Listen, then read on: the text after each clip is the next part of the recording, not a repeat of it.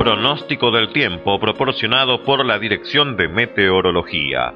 Para todo el territorio nacional se espera un día fresco a cálido con máximas que estarían entre los 24 y 33 grados.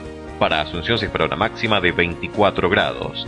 El pronóstico extendido para la capital anticipa un sábado fresco a cálido, mínima 16, máxima 30. Un domingo cálido con mínima de 19 y máxima de 29 grados. Y un lunes cálido con mínima de 19 y máxima de 30 grados.